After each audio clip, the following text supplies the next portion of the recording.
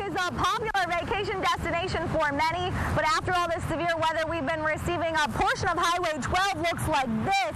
Now, if you look closely, you can see that the road essentially collapsed after the water got up underneath it. Jennifer Heiss with the Department of Transportation says they had sand dunes along this entire stretch of Highway 12 to help protect the road from the water. The water levels just got too high with this storm and broke down those dunes. Now, if you look over here, you can see some sandbags. There's over 300 four and a half ton sandbags that were placed there last year after that portion of Highway 12 was destroyed. Heiss hopes that with those sandbags, they will see less damage down that way. Now, the Division of Highway was out here today surveying the damage to help determine how much it's going to cost and when we can expect to see this road rebuilt.